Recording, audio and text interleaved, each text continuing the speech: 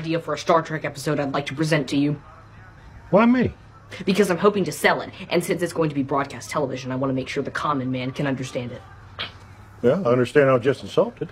Excellent. I came to the right common man. We start on a gas giant in the vicinity of Rigel 4. Then see a shuttlecraft, a dot of silver against the inky blackness of space. Inside the shuttlecraft, we see Lieutenant Worf struggling to breathe. He's been infected by a vicious, intelligent fungus. Where are you going? I'm listening. Cough, cough. Worf is choking on spores, but not just your everyday spores. These are spores with their own evil agenda. Uh-huh. And as he sinks into a coma, a mysterious figure in a spacesuit approaches. He lowers the visor on his helmet, revealing Future Worf. Are you hooked? Oh, yeah. Main titles. Cue theme song and the soothing voice of Patrick Stewart as Captain Picard says Space. The final frontier.